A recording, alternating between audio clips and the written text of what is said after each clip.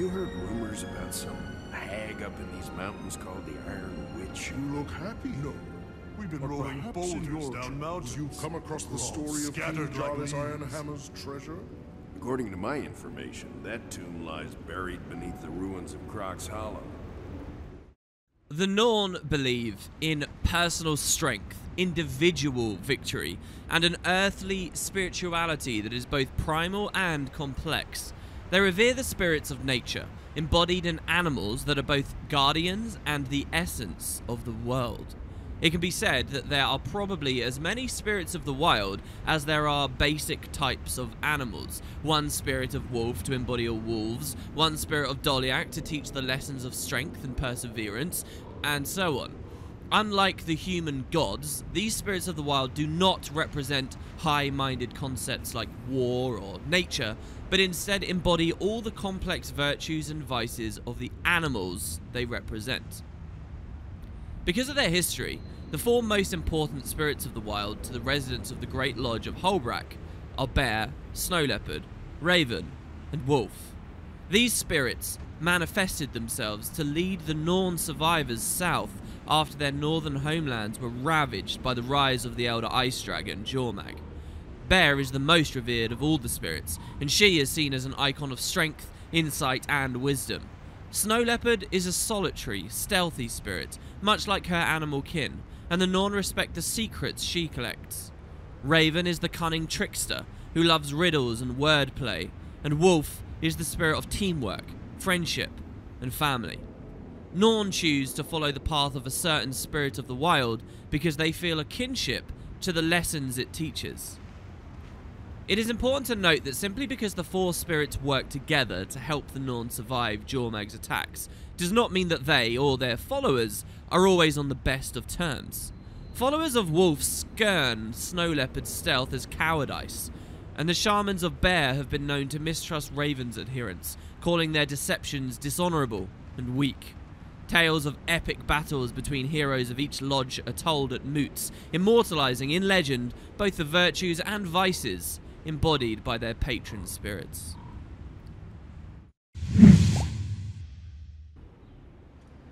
Part 116.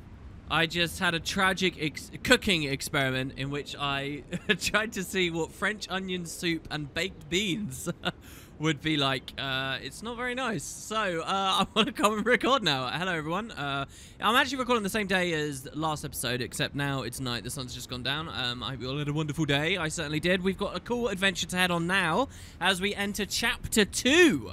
Uh, with lots of fun things going on. So you'll notice that our armor has actually changed. We're now in T2 cultural stuff. So no longer the Wolfborn, we are in the predatory stuff. Or, yeah, predatory. It's not predators, it's just predatory. Uh, pretty nice, and you'll see it is revealed marvelously our big bear chest. You know, MMO players are always looking for the skimpiest uh, armor they can wear on females. Well, Guild Wars 2's got you covered for the boys. I mean, Jesus, if you like a bit of man chest, this is definitely the set to run with. Um, and yeah, so we're actually starting as well, very close to where the game began, just in that building over there, uh, because I wanted to give you a little glimpse of something I mentioned last episode, but really hadn't spent much time with until now. That is the body of Issormir. Check it out. So this is the worm we slay. This is why we are notable. This is why people uh, revere our name. I mean, maybe a little bit more now after having on a, gone on a great adventure with Eir and have more legends under our belts. Uh, you know, that's before we even include all the amazing epics we could have gone on out in the open world. But this is where it all really started, and it's very cool that his body stays here. It's got full collision as well. I really love when games have collision on enemy bodies. It feels so much more immersive to me. Guild Wars doesn't get to do it very much because as an MMO, it could cause all kinds of problems for players like heaping up NPC bodies in areas that players now can't climb over. Funnily enough, there's so much freedom of movement with mounts and gliding and all kinds of beautiful stuff we'll get into with the expansions later with the game. Maybe the internet could get away with it now, but at launch, especially as the game's been developed, it doesn't happen much. But here, we get it. Uh, there's also the skill challenge. Issormir's corpse has been chewed on by animals and birds. It's been a while since we've been here, but it will remain frozen here until the thaw. Its magic lingers as well. Look at that, until the thaw. So is that a sense of the seasons here? Uh, we can commune with this place of power and give ourselves another skill point. I still kind of want to show you guys the spirits since I mean, I showed you the animations, but we haven't really used them in combat yet. But as for our weapon skills today, we're going to be looking a bit different. I guess these workers want to talk to us. Greetings, Ulfric. That's some beast you killed, but now the problem is, how in the mist do we get rid of the carcass? Why don't you just let it de decompose? I wish I could. It's just too cold up here, so it'd take too long. Plus, the hide's so thick, it keeps out any scavengers who might help us along. And then there's the stench to consider. Well, how about blowing it up? Oh no, we tried that once. Where do you think all the pieces of a sawmill would wind up? Do you want to explain to Knut Whitebear why his place got crushed under the huge hunk of an exploded ice worm? uh, what about sawing it to pieces? That's a start, but we'd still have to haul it away. Sure, the pieces would be a bit smaller, but we'd be covered in dead worm bile. All that's and that stuff never washes off.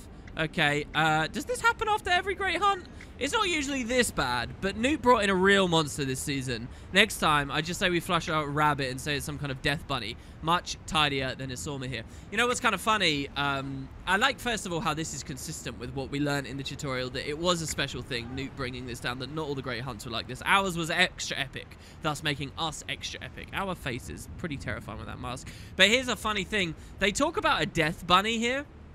Um, and weirdly enough, when the game was in beta, the devs would cap their beta weekends off with some kind of big special event. The very first beta, I think it was, ended with a special event here on this map where regular enemies became like ultimate champions and Zergs with tons and tons of players would uh, beat them up. I guess it was something of a stress test for the devs. And right here, I remember one of my earliest memories of that beta weekend they spawned a death rabbit, a super dangerous, like jackrabbit that no one could really kill. It was slaughtering all of us, and we were fighting where once upon a time we actually fought this boss. I wonder if this dialogue is somehow referencing that. There's some other workers here. Hey there, Slayer. How about next time you take out a big creature for the Great Hunt, how about chopping it up into little pieces first? Makes our job a lot easier. And this guy says, hey, it's Ulfric, the Slayer of here. Come to check out your handiwork. What are you guys doing up here? We're the official Great Hunt cleanup crew. As soon as our supervisor over there figures out how exactly to clean up a big dead worm, we'll get started. I like the idea of like RPing as these dudes. Uh, better get used to it. I'll be killing many more such beasts before I'm through. Ha! Don't let us let me keep you from that. You kill them, we'll clean them up. So, I mean, our quest ultimately is seeming to be leading to an elder dragon. Will we leave a corpse of this magnitude but way bigger eventually? I guess uh, we will see a nice little hint in the dialogue there as well. The ravens kind of beadily eyeing it just to see if they can get it a piece eventually when they can get through the uh, hide. So there you go. Uh, just a nice little thing that I wanted to show off uh, before we start our adventure today. We're going back to Hoelbrak to meet with Eir, and I do want to do another little exploration. How about this time we check out the hero's compass? So I guess this is a good a place to start walking as any. We're back at Snow Leopard Lodge near the, the creepy cave of the Sons of Svanir. A nice glimpse of Might and Main in the day now. Uh, but yeah, what we can do as we run along here is check out the Asura Gate. Now, we already found that grave, suggesting that it was where the remains lie of the first Asura to build a gate. But I think if we speak to the gate technician here, they'll have something a little bit even more interesting and maybe relate to that. There's also a really fascinating NPC here I desperately want to show you guys also. So check it out. Here we go. Peter's Waypoints. And you'll, you'll see that Peter is who the, the waypoint's named after, but the Asura technician we have is Graf. A very fun thing here too, by the way. If you hang out here long enough, sometimes Hylek will come through the gate and they'll say, oh, let, maybe this will be a good spawning ground. And then they realize it's too cold and they say, no, no, no, this is a terrible idea, and they leave again. Uh, but hey, Graf. Always be loyal to your crew. C cold! The, the wind spirals around this bowl of a courtyard, and I stand here all day. It's like being stuck in a freezertron or an ice blast. I need more fur. And we say, well, we wear furs to honor the spirits, not to keep warm. Yes, I've seen what passes for clothing around here. the spirits do not require modesty, or hygiene, or manners. No offense. Ha! You are the smallest comedian here, we say. I'm actually considered quite tall among my people. I'll take your word for it. Okay, his dialogue is not what I was remembering it being, actually. Maybe it's someone else that talks about Peter. Right, so we get the Asura guy here, but also near... Here he is, Lars Orjan. This is another dude I really want to speak to. Now, in the last episode, we were talking a bit about um, Honor of the Waves and the Kodan and the Sanctuaries, right? Once you get to the end of the game, obviously you're very familiar with that. But for, as far as we are as new players, who knows what exciting, crazy locales and people there are out there in the world, well, the Kodan are actually going to become quite a reasonable part of our story right here, right now, um, to, to do with the Lost Horn of Romke, which is the next chapter. Very exciting. And Lars has got a really cool bit of dialogue about the Kodan before we've even met any. So here's what he says. This is my first visit to Hoelbrak. I have to admit that it takes my breath away. Only one other time have I ever seen anything so magnificent. Now, this is a huge city, so what is it he could be comparing to Hoelbrak? This place is enormous. What other time? What was it the other time? It was far in the north. I stood at the edge of a vast body of frozen water, and there, before me, was a floating ice ship. It was a Kodan city. My mouth fell open in awe. How big was the floating city, we ask? He says, I've never seen anything like it. It towered over me, easily as large as Hoelbrak, and yet it floated in the water like a glacier.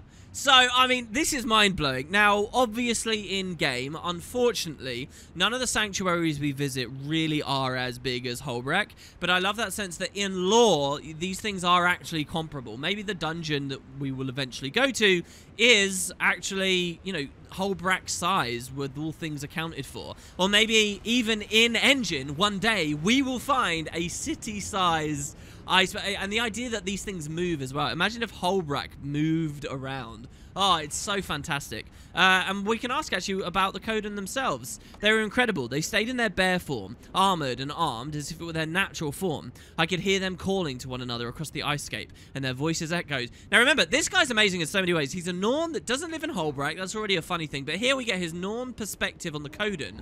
And he believes that that's just one of their forms, right? That maybe the Kodan could transform into other things. They've just forgotten how, such as how the no we have forgotten how to remain as bears. Uh, we could say, did you approach them? He says no. They didn't look hostile, but such a vast ship could house thousands of them. I wanted to consult with the elders before greeting them. A wise decision goodbye. And so he comes here to Hoelbrak to learn about the Kodan. That's how new they are, as refugees from Jormag, from the far north, these these races really aren't interacting with one another much right here at the start of the timeline. It can be easy to forget that as you play the game and you start seeing more and more Kodan, but they're very, very new to the stage. Uh, so yeah, I mean, that's awesome. I love that guy. Uh, and then the other thing I kind of want to show is the Hero's Compass. So let's have a quick run on over. Hero's Compass kind of is another one of those places that I used to imagine maybe we'd speak to loads of other real world players and hang out a lot. Uh, but you don't get to go there much. It overlooks a big, beautiful lake with an activity in it. Now, I'll get into the details of the activity a bit later. But this is actually, of all the cities, the Black Citadel never had one because the Bane was never properly Im implemented. Polymock was never properly implemented at Rata Sum. Who knows what the Grove was going to have. The archery shootout was never properly implemented in Divinity's Reach, but the Norn at Hoelbrak did at least get Keg Brawl. And that's what you can see looking out on the icy lake here from the Hero's Compass. So Hero's Compass itself, someone should give us a description of it. I can't see anyone to speak. Here we go. We got this guy Otter, and you'll see we're actually around it. You get these beautiful sound effects of cracking ice here. Up for a challenge. He says, you there, do you know the legend of Lake Morn? And we say, well, tell me about it. He says, ah, Lake Morn, one of the best places in all of Tyria. It was a glacier until Hrothbear came. Hrothbear? When our ancestors first settled here, a glacial shelf loomed over the settlement. Asgeir told his friend Hrothbear to smash it before it crashed down on them. Taking on a glacier, that must have been a sight. Legend goes, Hrothbear smashed at the glacier for days on end without rest. Finally, the shelf fell away from the settlement. There, Hrothbear stood, raising his hammer in triumph. A great legend, we say. That it is. Asgeir named the newly created island Hrothbear's Rest, for that is where Hrothbear sat, exhausted, after his victory. And what about that brewery on the hill, we say? He says, Courage Brewery, with the best ale this side of the Shiver Peaks. Head on over to Bear Garden if you're thirsty. So there's a little, like, uh, place you can get a drink or two. But it's a cool story here about this place. There is an NPC somewhere in Hoelbrak as well that talks about there being caves beneath the city that I've always really loved. But in my running through and trying to find uh, these NPCs and things to say for these videos, I honestly can't find them at the moment. Uh, maybe we'll get to that a bit later, I guess, but I wouldn't even know where to start. But it's a really cool place. Look at the effect of the ice here. Reminds me a bit of the original game, seeing the Jade Sea. It's just rendered so beautifully. And you'll notice that there seems to be some kind of a court out there. Well, we can get to that at a bit of a later date. I'll run on up, I suppose, and grab this point of interest. Uh, this is Beargarten itself, and see if we've got at least one friendly local who might have something to say to us here. Looks like we do. This guy here, Vern Two Bear.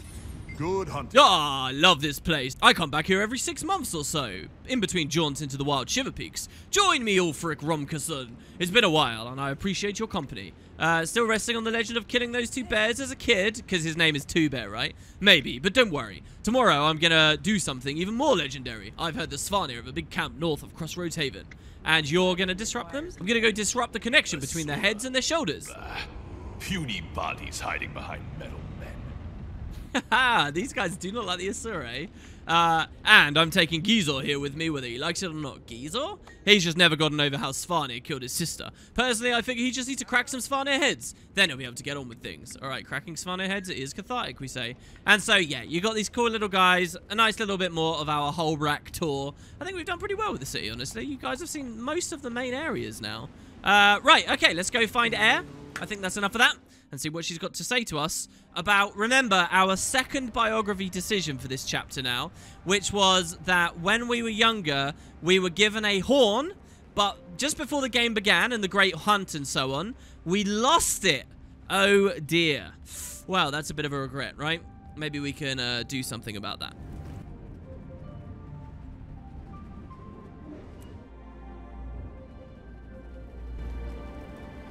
Uh, I love this. This reminds me so much of other games where you frequently return to places. Sometimes there'll people be discussing sculptures. Sometimes it's very quiet. Sometimes there's different people discussing different things. This time there's Garm playing with a wolf pup. And look, they just ran away. Oh, look at this. Hold on. So this black little pup, is this is this Garm's pup or is this like another villager's pup? It's crazy to think that Garm might be a parent, right? Oh, man, and we can't communicate with them? Very cute. Mighty heirs to Golgan. Once more, Wolf calls on you to protect his pack. I heed Wolf's call, and I'm glad that I will have company. Ah, there's the Slayer now. Okay, actually, maybe it's Fastolf's pup. So it's Fastolf again. It's great to see him. He appears in so many of these story steps. It's brilliant, very coherent. Uh, hey, Eir, what's going on? I wish you clear... Trouble is brewing, and Fastolf the Wolf Shaman has summoned the two of us to deal with it. Wolf sent me a dark vision. My friend Krennic's homestead was burning and besieged by ice creatures. I saw you there with Eir, fighting them off. It's a clear sign. Of course I'll help your friend. If the pack needs an alpha, I'm ready. Wolf's vision hints that you two are meant to walk a greater path. I can see that his wisdom and cunning live in both of you. Wolf knows I would never turn my back on a friend like Krennic. I'll meet you at his homestead and we'll deal with any trouble together. Okay, everything seems somewhat unrelated to our horns so far. What do you guys have to say? The journey continues. You have my attention. We have to take Fastolf seriously, Eir says. It's good to see you again, by the way. His visions have guided our people through times of trouble before, and he's never been wrong about imminent danger. Fastolf has them often. I thought reliable visions were rare. Most shamans are sensitive to this sort of thing, but Fastolf's a prodigy. We can't afford to ignore this warning. He was very humble about himself before. Don't worry, we'll keep Krennic in his homestead safe. Wasn't the point of Fastolf as well that the prior shaman had an early death? Hmm. Uh, the spirits of the wild. Well, so he has some pretty interesting dialogue in the way he talks about the Shiver Peaks. He says, You should hurry, Ulfric. Visions of this sort should not be taken lightly. And we say, Well, tell me more about Krennic. Krennic was one of the first to carve out a homestead for himself after we left the Shiver Peaks. He's brave, strong, and proud. And if my vision is correct, he needs help. So you might see this, the way that this is phrased here is incorrect from the writers or whatever, but I, I think it's actually definitely intentional and really fun. The sense being that to the Norn, they're they're not home, okay? Like, don't get stuck in this trap when you think about the Norn and the way that they're handled in the game. The Norn are not home. They are refugees. Their home is north, and to them, home is the Shiver Peaks. And this is not necessarily, right? You know, going back home is where we saw them in Guild Wars 1, and the Shiver Peaks are what we would call the far Shiver Peaks. I really like that dialogue there because it kind of shows that separate perspective. And, of course, these are also the Shiver Peaks, and I'm sure the Norn respect that. I like the idea that it's some Norn are just a little bit more unbudging in changing their mindset as to where they are now and get trapped in these old, like, methods of describing places. Uh, I, just really enjoy that. All right, I'll see if we can get uh, get that. Wait, what did you actually say about Krennic, though? Beyond that, he was the first, one of the first, to carve out a homestead for himself after we left the Shiver Peaks. So he's old. Or should be. Very old. Okay, well, uh, let's see that he gets it, and uh, his help, I mean. And we'll be moving off. So, despite the fact we've been north a few times, uh, I haven't actually grabbed a waypoint up here yet. So, I'm going to skip ahead. I'll see you guys in a sec. At least past to where we met the Jotun before.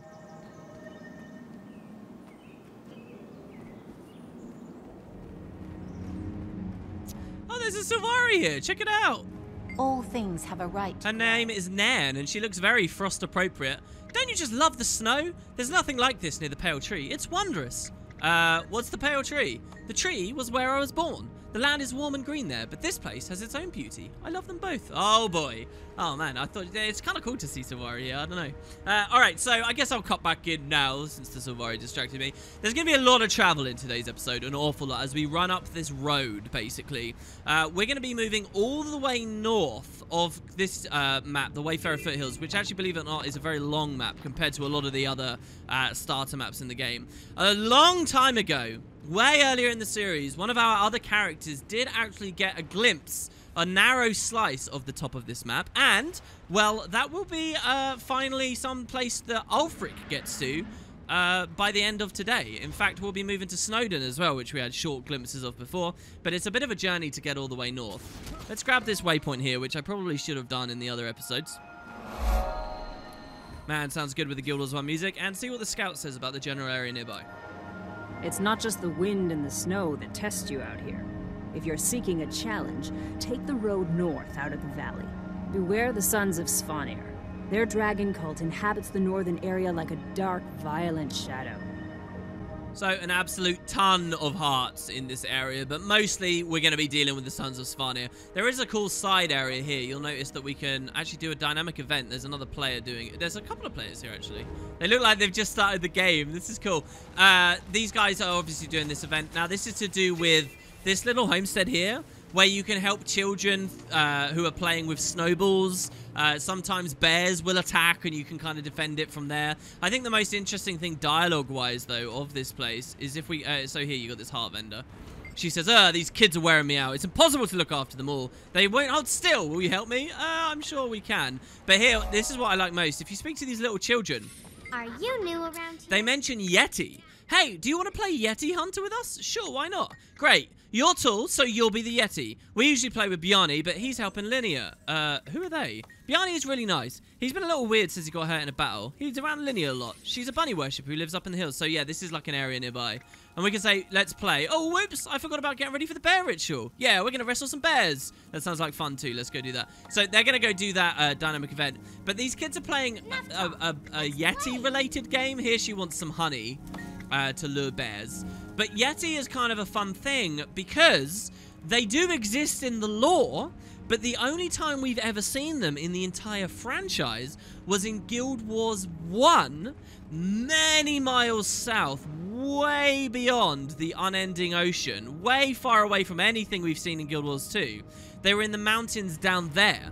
And so the fact that the Norn know a little bit about the Yeti is kind of amazing to me. Now, there's a small part of my brain that makes me think, okay, maybe the writers wanted to talk about Yeti and then they realized they were in the universe, so they just wrote it in without thinking much. But the idea that the Norn know about Yeti, and especially as a kid, a, a game that kids play, is really fun. It's even more fun that either all these years of Guild Wars 2, Yeti have not been implemented in this game. Uh, and so they're like this mythical, legendary, ooh, when will we ever find them kind of thing. Uh, just, just a fun little thing. So up we here, uh, up we come now to the ice steps. We can grab the next waypoint. This is our little outpost. It's a bit like Decider Atom or whatever, uh, and like Claypool, I think it is for the humans. Every starter map has a kind of a mini home away from home. It's a town uh, that you can do crafting at, and thus obviously access your bank too. They don't tend to have trading posts here, but so yeah, as we were starting the game, at this point, We've got a few levels. We've gathered some crafting stuff. Now, maybe we might want to learn a little bit about what it means to be a jeweler, right? And we can actually open up the jeweling panel, or we can learn a little bit about armor smithing and weaponsmithing. I really like this in the starter maps. I think they're very cool. And uh, the Norn one's no different. I enjoy them all. Unfortunately, there's really not much dialogue. You can explore quite a lot, and there's a weird hidden room. If we come all the way up here, most players will end up over here because they'll go for that vista during map completion. But very strangely, if you turn around, you'll notice that there's these crates. And if you climb on the crates, deliberately here from the devs, it lets you get on the roof. There's no other way onto the roof. And from the roof, there's actually a staircase down into this room behind this door that never opens. But there's no reason to be here, ever. Uh, I guess if you want to play hide and seek for any reason, uh, that's a good place to go. But uh, yeah, of course, as well, we're on the Lions Road, guys. This is where the Lions Road and the closest haven to Hoelbrak meets. A very, very, very long road, and it's so cool, right? Because Lions Arch feels so far away, but we know if we keep walking on this, eventually we will get there. Um, so yes, all right, we got some barricades. There's often a cool event that can take place near here too. I wonder if it's around with a particularly dangerous member of the Sons of Svanir doing stuff with wolves. I think he's called the Wolf Master, and he's definitely pretty fun. Uh, but I don't think he's around. We're also in range of a heart now, where we can just take out these dragon banners and barricades that they may have erected all over the place. But uh, our quest is actually to go to that homestead. You can see all the way over there on the horizon. Pretty nice. Okay, so let's look at our skills as we travel as well. You'll notice I, I have a bow again, but I now have short bow, not long bow. That means the skills are very different. So it now shoots much more rapidly in general. So this is the short bow auto attack. As a compromise, it's not as long range. But the auto attack, Crossfire, this was an elite in the original, by the way, uh, bleeds your opponent, so it applies condition damage. And also, if you shoot the, sh the short bow behind them in the back, and as a mobile weapon, it's easier to do that, you stack more bleeds than if you shoot them in the front with the auto, which is kind of nice. The skill 2 is a lot like the Axe 2 I showed you last episode. So here's Axe 2, Split Blade, remember that? Well, the skill 2 is Poison Volley, and it's a spread of arrows. I kind of showed that really terribly there. They're poisonous, and they do extra damage, again, if and last, the poison lasts longer, again, if you manage to hit someone from behind. So here, we'll do it there, and it spreads like a fan of arrows out. Again, I've not given you a very good camera angle for that just yet. But yeah, so that's the first two skills. The next one's a double skill again. Fire a quick shot in an evasive retreat, and we gain swiftness. Uh, it can be used while retreating. Now, okay, so this isn't a double skill. I thought it did something specific for our pet. I guess not. What it means when it says this can be used while retreating is, if I shoot the Son of Svanir, and I run away from him, I can press the skill 3, my character will automatically turn around, dodge, and then keep going in the same direction. Not all skills are like that. A lot of them will like just get cancel cast if you try and use while facing the wrong way, such as what just happened with Poison Volley there. For some reason though, it's only on Ranger I think that they add that clarifying tooltip, this can be used while retreating a lot of other class skills could probably do with that, to be honest. But so there you go. That's the first three. We'll talk about four and five in a second. I do want to get into the story now, though. Oh, we got a cool needle here, which triggered one of our achievements. Uh, but I do want to talk about one other thing just before we go up to the homestead, and that's this icy lake. Remember last episode, or two episodes ago, when I told you about a mysterious dynamic event with a frozen lake that you can swim in and then later it becomes ice and a big boss spawns there and so on that we'd heard about in an interview? Well, this is it. We're at a meta event right now called the Frozen Maw. This is like the Norn equivalent of the Shadow Behemoth from Godslost Swamp for the humans, which had that big, epic boss, right? Uh, unfortunately, though, it seems the devs kind of ran out of time while implementing this one, and the description of what this meta was with the lake of water that then freezes and you can walk on based on other metas doing, that never actually ended up being a thing, and the meta is very different. Really, it's just about a very dangerous uh, son of Svanir shaman. You've got to take him out as he summons portals and stuff. It's nowhere near the quality of the Shadow Behemoth, and maybe one of those examples of the small places in which Guild Wars 2 never fully realized its original dreams and goals for the starter maps. Hey, maybe one day if they ever look back at these and try and improve the new player experience, this would be something they go for. But yeah, this is the lake, and this is where I tried to get in just 40 minutes. We've been playing Ulfric for how long now? Uh, 4 hours, 49 minutes, and... Uh, you know, that's with me leveling super fast with tomes and things and getting lots of money early. Uh, to do that at a demo would have been really hard, but this is where it is. All these enemies would have slaughtered me back then.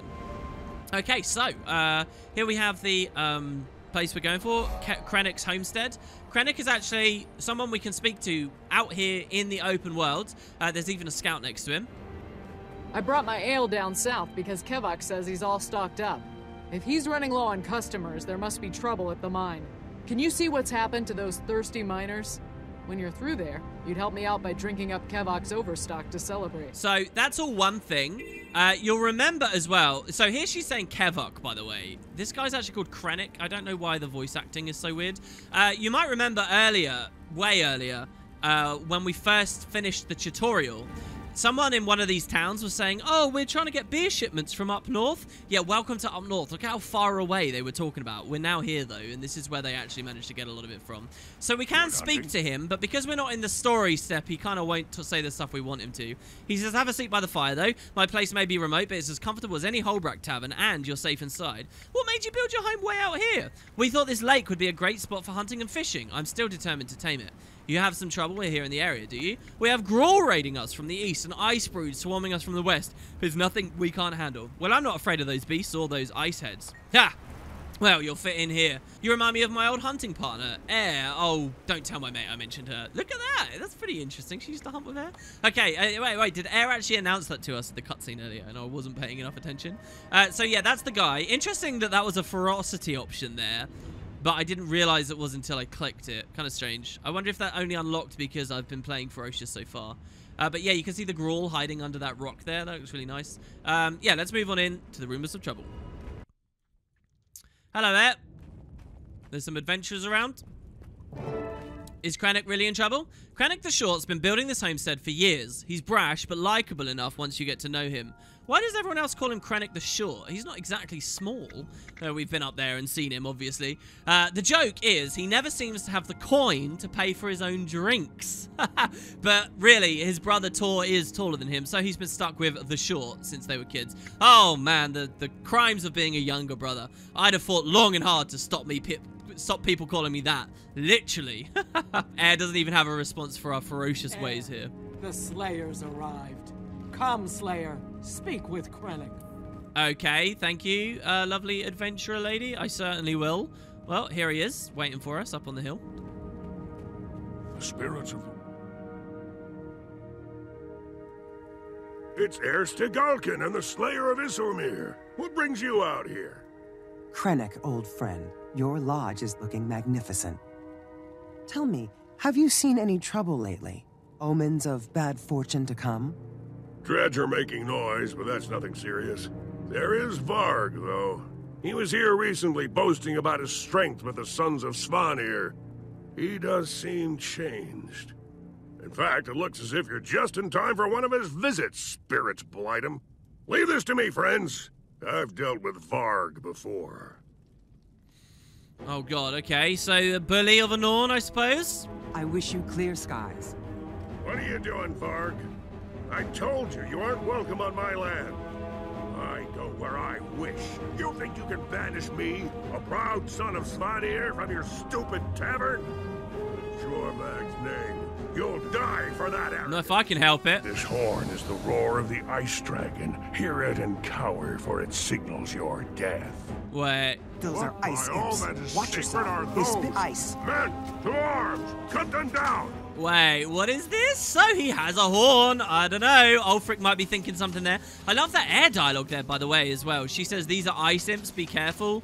They spit ice. I know that doesn't sound like much on paper, but I think most well-executed good games have a bit of dialogue like that, descriptive of the mechanics you're about to face. Guild Wars 2 so rarely does it, and I think it's because the devs kind of put the gameplay like the leveling and the skill execution and the combat stuff actually quite late in terms of orchestrating all of the PvE stuff. And so they don't have a lot of dialogue descriptive of what enemies do. Even what Eir said there, they spit ice. Okay, fine. That's more the flavor than anything else. They don't have much of that because they weren't sure what they were going to stick with until really late in the day. Where I think, honestly, the game just ended up releasing before they could implement anything really great for a lot of this stuff. Uh, but yeah, so Eir kind of gives us that description of the first time we theoretically see ice elementals. Of course, if we'd done a lot of exploring already, we might have found some. But it's something they can only really do super early game where they're sure that players haven't done much in the world yet. You never have dialogue like that for an update now because people have had years to find Stay them. together and force them to come to us. Alright, so we can take these waves of mobs out as was spawned here by that douchebag. And uh, will just hopefully survive. It looks like this one spawned an elemental veteran. Let's talk about the uh, skill 4 and 5 on the short by now that you've seen a little bit of how it feels.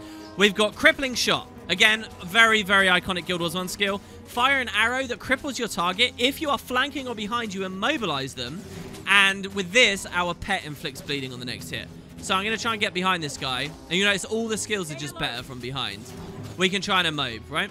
And then lastly, concussion shot. Oh, it looks like we're done. I'll, I'll still show it off as long as they don't start talking. Uh, daze your foe with an arrow, but stun if you hit from behind. So really good CC, honestly. You can immob, you can stun, daze, uh, cripples on there. It's pretty nice.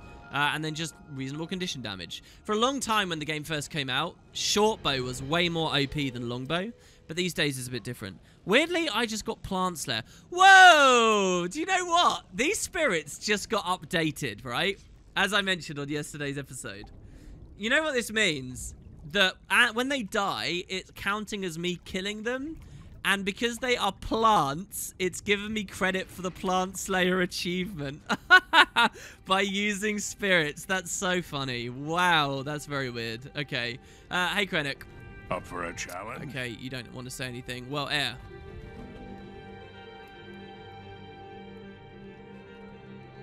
I've never seen ice imps this close to Hoelbrak. Varg's horn must have powerful magic to have summoned them. That's not his horn. It was passed down to me through my family from my ancestor, Romke. His boldness as an explorer is legendary. But why does Varg have your family heirloom? I wagered it at the moot in a dice game with Varg. He cheated, but I didn't catch on until after he'd left. Ah, I had no idea that it was a magic horn. According to the family stories, Romke got it as a gift from a clan of bear people. That must be the Kodan. They have an enclave near Hunter's Lake. Meet me there and I'll introduce you. We can find out if they know any more about the horn. So here, we hear that at a moot in a game of dice we lost it, which lines up with what our biography originally said when we made that decision. Interestingly though, Varg appears at the associated moot along with the Great Hunt back in episode one of Ulfric's adventure. You can go back and look at it. I spoke to him. So I wonder whether the devs were playing with the idea that the actual moment that this stuff happened was at the Great Hunt, but later they couldn't find a way to implement it, so then they just suggest there was an earlier moot. I'm almost 100% positive that that's what the devs wanted to go with, and then based on how the other races were being implemented, they realized it kind of broke down and they had to do it all on the character creator screen instead of actually in-game. Uh, but it's kind of a funny thing, so that, yeah, uh, we are going to be trying to get our horn back, Romke's horn! Romke appears right at the end of the personal story, is actually relevant here for the Norn characters. How badass is that? Hey, Eir, what's up? Did I just hear something about the Kodan as well? She says, we can't let the Suns keep that horn. It's too dangerous, and I don't like the great Romke's uh, property being used to serve Jormag, especially when it's your family's heirloom. Look at this. Look at how nice she is to us now. Oh, we're such good friends. Look, we may not be as cool as Rytlock and Logan or Caithe, but actually, I wonder how much Caithe really ever connected with Eir, since Caithe's a bit of a dark horse in some ways. But still, look, we seem to have a real bond. Neither do I. That's why we're going to be putting a stop to it. Brilliant. Thank you for helping me figure this out, at You least, Krennak. visit more often. Varg has always been a problem, but now he's a serious threat. Can you stop him? My family's legacy is at stake. Only death itself will stop me. So we go on some kind of crazy quest of vengeance here. I'm honestly not that invested in Varg as a villain right now, but I buy that Ulfric is, all right? And that's what really counts. So let's head on out. And yes, we're going to be moving on now to our next location, which is no longer in Wayfarer. That was our last quest here we're going to be going to Snowden, the second map. Still a bit of an adventure to get up there, so we'll get moving. Uh, no time like the present. Now, what I can do on short bow, by the way, is I can use free camera, quickly turn my character around, use the skill 3, and that dodges me forward and gives me swiftness so I can move quickly. Nice little thing you can do, and many classes have access to something like this. Uh, but so you might see I do that a lot while I'm on this. Obviously, if we were still using Warhorn on our other set, we could just blow in the Warhorn and we could give ourselves swiftness from that. That Warhorn not being the horn from our story, but just as a ranger skill. Maybe we shouldn't use Warhorn again until we finish this and figure out if we can get our actual stories on back. That'd be awesome, right? For today, at least, though, I did want to show you what it means to dual wield axes on a ranger. So, like, warrior can dual wield axes. We remember what they did. You spin around like crazy. You get lots of really fast attacking meaty hits. Well, rangers got similar stuff to how warrior dual wields axes. Uh, it's the axe offhand, really, we've got to show. First of all, the main hand stuff is throwing axes now, and we We've seen what that causes. Oh, there was a scout back here and a waypoint. Hold on, let me grab this. As Lion Guard, it's our duty to defend the trade roads to and from Lion's Arch. That's made somewhat difficult when one of our fortress havens is under constant attack by the Sons of Svanir. We've been so busy going on the offensive against Jormag's worshippers that we barely noticed the Char setting up operations in this territory. So there you go. Even some mentions of the char here because we're getting close to the char connecting map. Uh, so yeah, to talk about the uh, axe stuff, it's similar to how Warrior executes things, but not entirely. So first of all, we've got thrown abilities on the main hand. The uh, offhand starts with Path of Scars. We throw our axe so that it returns to you and it strikes foes each way. It's also a pull, right? So this is a boomerang ability, basically, right? I can cast it anywhere I like. It only recently became a ground targeted with one of the more recent updates. But I can boomerang it behind the Dolyak. It hits the Dolyak and then pulls the Dolyak to me on the way back. That will interrupt whatever the Dolyak's trying to do at the time. And you can use it to pull whole chains of stuff together. Like if I boomerang correctly here, I can probably get the ram, the Dolyak, and this next ram all together. Ready? Look at that. Oh, this one in the middle never quite landed. But so that's really good because then you can chain it into the skill 5, Whirling Defenses. So this was a stance in Guild Wars 1. In Guild Wars 2, it's a proper activated, special, cool, animated ability. And that was a big thing. Uh, moving into Guild Wars 2, the devs wanted all abilities to have really good animations and be much more visual than they were like passives in the original game. Passives are now like traits, right? Uh, so whirling defense is a great example of that. In the original, this just meant you dodged every now and then, and then later you blocked every now and then. But now, it's block projectiles while damaging nearby foes. We basically spin in this big, beautiful animation here, doing enormous damage around us. And anyone shooting at us with their own bows, we reflect back to them. Uh, actually, it says block projectiles. I thought this was a reflect, funny enough. I guess it's just block projectiles. But still, it's really good. It applies retaliation and vulnerability around us. Very, very fun. And it's even a well finisher. So, if I use like a fire trap and then did it in it, we'd be spraying fire all over the place. Brilliant. Cool, so we come to this road here. Now, we're going to be going left. I do want to point out, once again, though, that mysterious Norn village off on the horizon there. Now, we did talk about that way back, and I just want to remind you guys that it exists. This has actually not got anything to do with Norn's story. As you can tell, we're not going to that village. We're moving on to the second map now. That Norn village over there is actually related to story after the main campaign is over. First time I showed you that village, I said, oh, you know, that's ages and ages and ages away. Don't worry about it yet, guys. Well, to tell you the truth, we're getting really close to the end of the game now. And we might be there sooner than you think. So, uh, there is a haven here as well. I guess I'll grab the waypoint just in case we want it later. Uh, the haven, again, this one doesn't have... I guess the havens on this map were a little bit poorly done.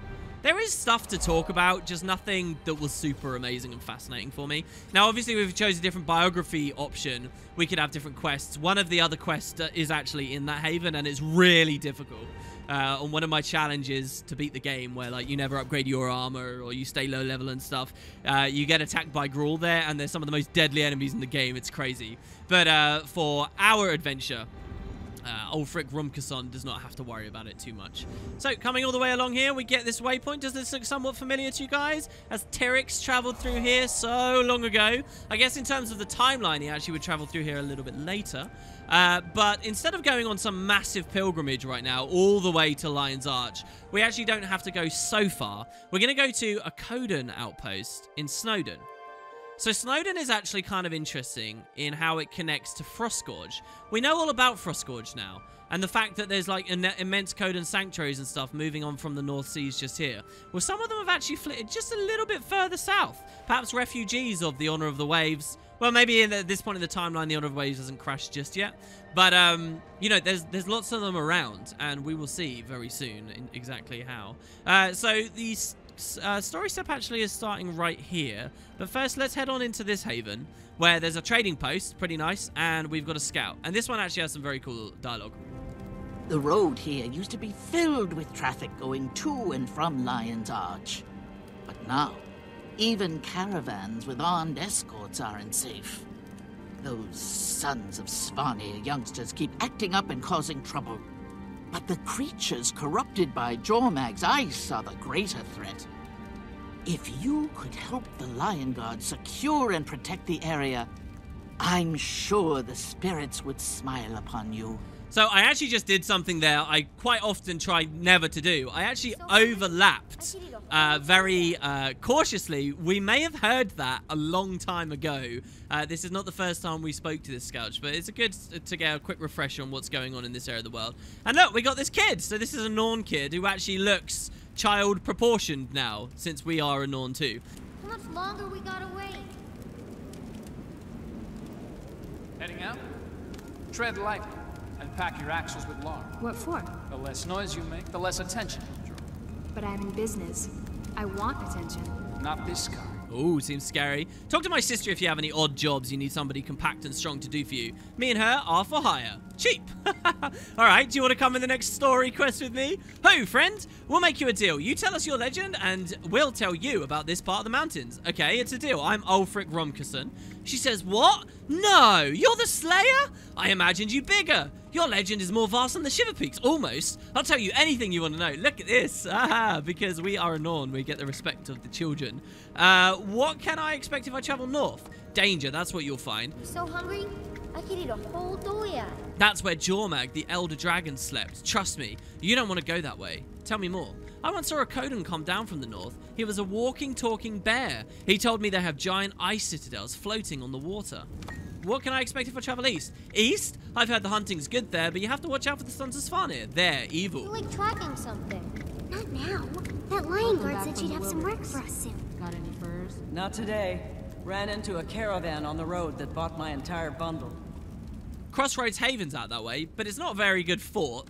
The Sons of Svanir and Icebrood are always attacking it. All right, well, we'll see. What about West? West. Ooh, I wouldn't go that way if I were you. The Icebrood is there. Jormag corrupted many Norn, and even the land itself in places. It's very dangerous. Well, West is where we'd want to go if we want to get to Lion's Arch. The roads to the west are all messy. Be careful, there are avalanches and all kinds of killing things. The Lion Guard tried to keep the trade routes open, but it's hard. Okay, and finally south. That's the Sons of Svanir territory. They're everywhere. They're evil. They follow Dragon, the spirit of the wild that's going to destroy us all if we let it. Which we won't, right? If you stick to the road, you'll come to Snowhawk Landing. The Lion Guard will watch over it too, like they do all the havens. Snowhawk. Okay, all right, cool. So that's what everyone here has to say. My feet are bigger than that lion guard's. My feet about bigger than that lion's guard. Is that what that kid just said? all right, so let's head on in and um, see what we got. Among the Kodan.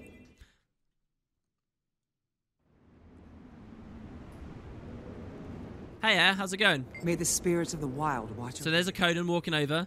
This should be interesting. I haven't had extensive dealings with the Kodan. No one has. But I know this is as far south as they've come. Why, that, why are they this far south? Did Jormag drive them down here too? I believe so. The sanctuaries have come under attack lately by Jormag's minions. We have a lot in common with them, though they don't seem to like us. Wow, if they can help me get back Romke's horn, I don't care if they like me. Wait, wait, wait, you're running past? Okay, so here we get the first Kodan of the story, followed by night.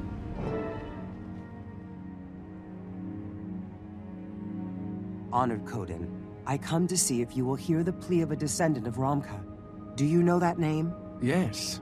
Romke is well known in our tales as a strange but honorable southerner. If you brought me one of his line, I'll listen. I promise that you want to hear this. My ancestor carried a horn given to him by the Kodan. It was passed down to me. It was stolen from me before I knew of its magical power. Now I need to find the horn before there are dire consequences. Your ancestor was wise in many ways and a trusted ally of the Kodan. But you? I do not know you yet, other than your tale of loss. So, in Koda's name, prove yourself to me. The dredge to the south ravage the land. Their mine director calls himself the Overminer. Kill him and bring me proof of his death. In return, I will tell you all I know of the horn resounding. A worthwhile cause. The dredge plague both our races. I'll handle this Overminer, and we'll talk again. So it's typical that the second we meet the Kodan, they're telling us to deal with Dredge. Ulfric so far hasn't really touched on the dredge. Now, we've had a ton of opportunities to potentially have. There's all kinds of places around the Wayfarer foothills where you can enter caves, where there's lots of dredge complexes and stuff. We've heard about them a lot, but we really haven't dealt with them much. It's no surprise that the Kodan are having us deal with them. If you remember when we spoke to them in Frostgorge Sound, they seemed particularly aggrieved by the dredge because of their strip mining, because of their big machines, similar to how they viewed the Char. Eir here saying that they don't even like us. I mean, the Kodan just seems so sharp-elbowed about every everyone really they come across. So we will have to deal with them. I want to point out something else as well. These guys know Romke and liked Romke. Like new fallen snow. You made a promise, Norn. Keep it and then we'll talk. There's a very cool thing going on here. To most Norn, the Kodan are new, like Eir just said, right? Like they're refugees recently. But Romke was alive ages ago, right? He was caught up when Zhaitan raised from the freaking uh, belief him while he was sailing following his map, okay? Romke is an ancient hero by Norn standards today, and Romke was dealing with the Kodan. So, I mean, that's amazing because that's another thing that taps into why he was so legendary. For most of us, this is new and novel, but he knew the Kodan and hung out with them and befriended them way before most Norn even knew they existed. All right, that's how cool Romke was as an adventure. That's how far north he must have gone on his adventures, and then before eventually getting on the boat, heading off to Orr, and well, we all saw how sad and tragic that ended, right? I think that stuff's really badass, and you kind of have to think about the separate facts the game game gives you at very different moments to realize what's so cool about Romke, really. Uh, but okay, so we're going to defeat the Overminer. This is a very simple quest. The Dredge use sonic attacks to take down their foes. Alone, they are weak, but in groups, they can be powerful opponents. Fight smart. This Overminer is a strong leader. He will take cunning to defeat. Be on your guard. Obviously, this thing about sonic attacks becomes bigger in the story later, as we've seen. Um, but for our purposes right now, really, we're just going to cleave through them. And uh, we should be okay since we're not reliant on blinds or anything, and these guys are immune to blinds. What I would like to do is show you guys uh, some of our non-racial abilities. So, for other races, you can get quite a lot quite early in the game, you know? Various prayers, you can pray to Dwayna or Kormir or Lyssa as a human. As a Norn, if I show you my skills, we don't get a Norn heal. And as far as Norn utilities goes, there's only two. So let's see what they are. First of all, you have Call Worm. So I guess summon and feel the power of uh, the Spirit of the Wild Worm. And we can call to him. And we actually get to summon an, uh, a creature to fight by our side. Kind of nice, I guess, if you're playing like a Necromancer or some kind of Zooey character, you want lots of allies. So this is a worm, and as I aggro some Dredge near it, you'll see he's mostly stationary. Uh, but he kind of sieges away in the background there. And every now and then, he will go underground, move to a new area, pop up, and do some damage. So Necromancers get the Flesh Worm. But this guy, the Snow Worm, actually moves a little bit more. He's very, very, very weak. You won't find most players ever using the skill for all the reasons I've already explained. The devs never balance racial skills to be that good, right? But then we also get Cool Worm, and we get Cool Owl. So we can call Owl to attack and bleed our foe. These both feel quite rangery to me, so I like playing a non-ranger. So there, you saw very briefly, look, I'm going to have to edit and slow-mo that. When I cast Call Owl, an owl shoots down from the sky, smashes the dredge, and then flies off straight away. It's a bit like when we use Warhorn skill 4 I showed you in the other episodes on the Ranger, except only a single bird this time. And really, the damage it does is somewhat close to that. It does three stacks of bleed, which is actually pretty good, and a small packet of damage. Here, I'll show you again. Uh, here we got a Dredge Ratnik. Yeah, blink and you'll miss it. It's like just a baseball comes and hits his head, honestly. And there you go. That's the non-skills. Only two? Well, why is that? That's because most of them, and they're really cool as a Norn, actually come at level 30, and they're all elites. You get four separate elite skills just from being a Norn when you hit level th uh, 31, actually, right? So uh, that's what we'll be talking about in the next episode. Uh, and probably once we're finished with this story, actually, we'll be uh, moving our way on up to that. So, uh, yeah, we, our job right now is actually to search this cave system for the Overminer. There's kind of like a horseshoe, like U-bend you go on as you travel. Oh, wow, here he is. You can tell from the combat music. Invaders! Kill them, comrades! Okay, kill them comrades, he says. It looks like you're alone now, though, dude. I've been so exhaustive in taking this cave out. Uh, let's summon the worm, summon the owl, summon some spirits. So yeah, look, our spirits will buff our worm. Oh, guys, the OP synergies. I'm going to try and stand behind him as well. So this is a cool thing with short bow. Because, because mobs will nearly always aggro on your pet, you can kind of do what you want and stand behind them. So yeah. A fine battle. You fought with such skill, such precision. The Dredge were no match for you. For us, you mean? Two heroes are better than one. Of course. These challenges will prepare you well for taking up the mantle of leadership. Now grab the weapon. Followed by Night owes us a story. All right, so we're gonna grab the Overminer's boomstick here and uh, travel on out. You do actually get to use the abilities, and I think uh, the Dredge aren't happy with what we did, and they will attack us on our way out. Yes, they will. Okay, so we're gonna come backwards now. You can drop the boomstick and go back to your regular skills, or you can kind of attack with sonic weaponry. I think this is a fun change of pace, so I'll go for it. We can try and rifle butt the guys away if they get too close. And obviously, we still have our utility skills, so that's quite nice.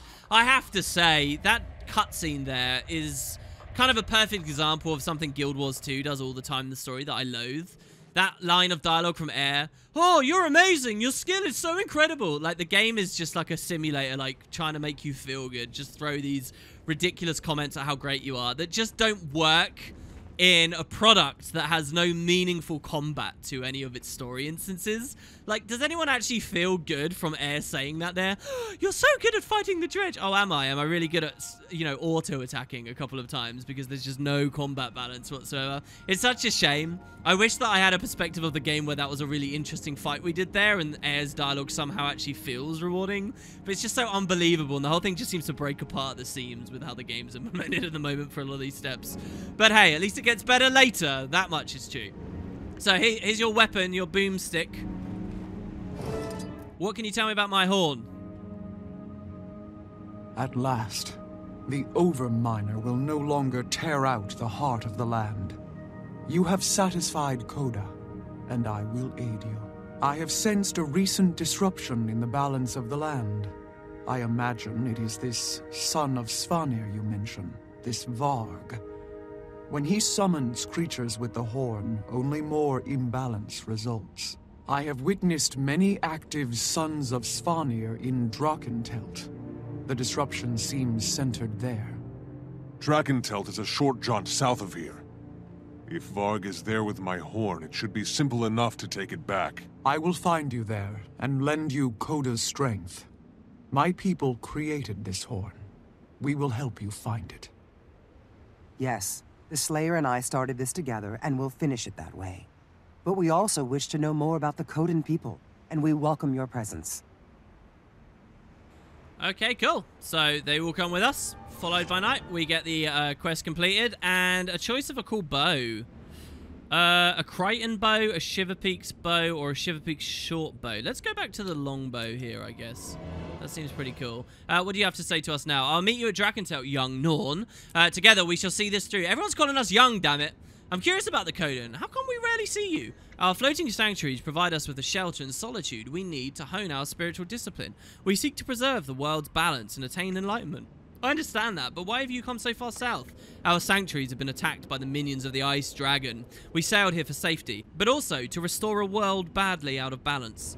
We Norn made a similar journey, and we also ran into trouble with the Dredge. Vile, deluded creatures. Dredge bore through the world like worms in an apple, working only for themselves. What's left is of no use to anyone else. Look at, I mean, the, the, you guys might just take this as boring dialogue, right? About the, the Dredge as an evil faction. They were so sympathetic in the original game. They were just like these oppressed people that you wanted to see free. And it's so sad to see what has happened to the mountains since then. No argument here. Don't worry, Eir and I stopped the Overminer.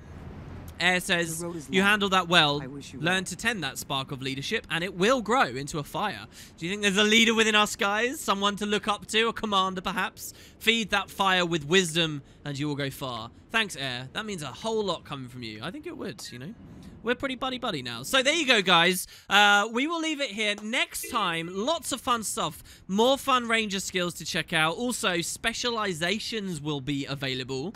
Uh, I really want to show you guys marksmanship, which supercharges our longbow if we wanted to, and bow-based stuff. Beast Mastery, making our pet the MVP and really ludicrously charging that. There's lots of fun stuff for Ranger Buildcraft. And of course, also that meaty level 30 mark where we get to see the Norn elites. Uh, so yeah, join me for that. We may also even be able to get our horn back there and uh, conclude the chapter. So I hope you guys enjoyed. Thanks very much for watching. Hope you have a good evening. See you next time.